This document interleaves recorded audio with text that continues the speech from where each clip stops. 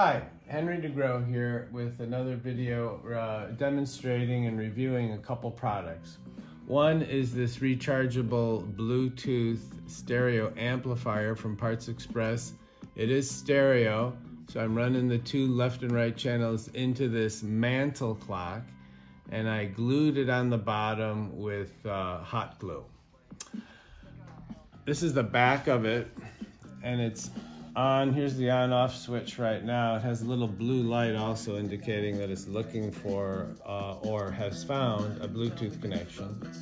And it has a little charging port here that you plug in, charge it like a phone. All right, so now it's running on battery and it has a little cake uh, running off of my ancient device, Bluetoothifying.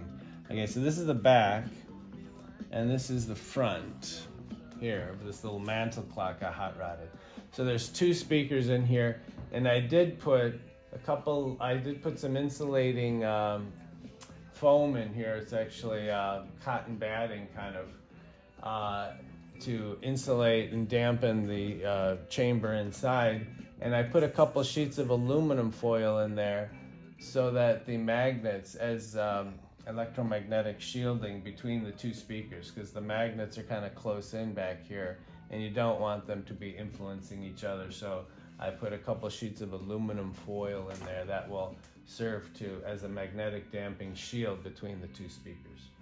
So the speakers are uh, these virtual reality speakers, RS20 uh, 525s. And the important item that I want to kind of talk about here is this power rating here, which they mention is 25 watts RMS for the pair.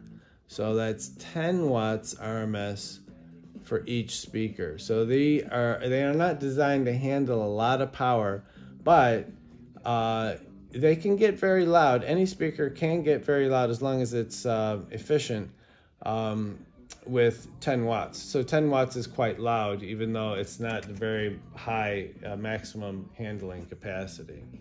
Um, one of the things they mention in the backside here is that the sound pressure level is 91, which is very high. So these uh, are claiming to be very efficient and loud speakers given a small amount of power.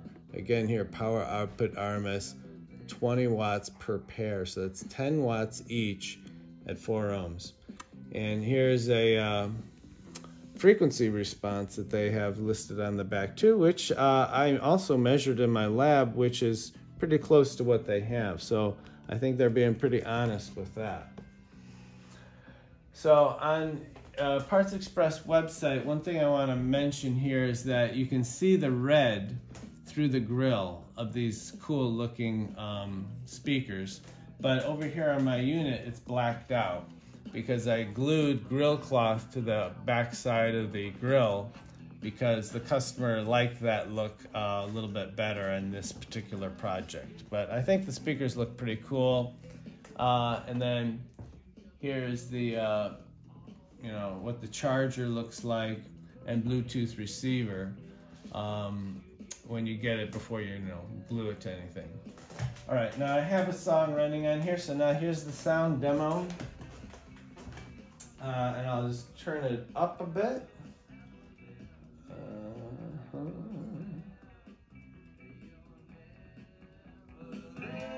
Thanks. See you